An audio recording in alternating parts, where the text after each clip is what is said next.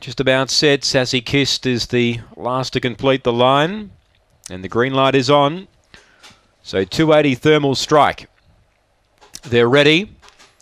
And away, Thermal Strike about third to begin. Speed from Princess Sasha found the lead, tackled by Power of Love, and now Thermal Strikes into the clear.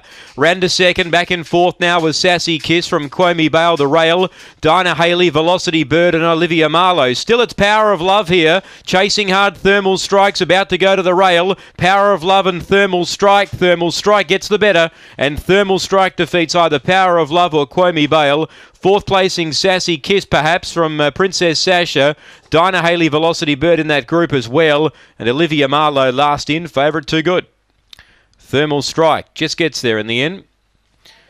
Hugged the rail, whereas Power of Love left the rail. And uh, the White Rug has taken the run at the right time.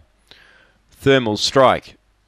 Six second, Power of Love. Run a good race, a cheeky little race by uh, one of the roughies. Quomie Bale, number five, gets third. Eight runs fourth, Sassy Kissed. 23 21, 14 37 the run home. 3 6 5 and 8. 3 6 5 8.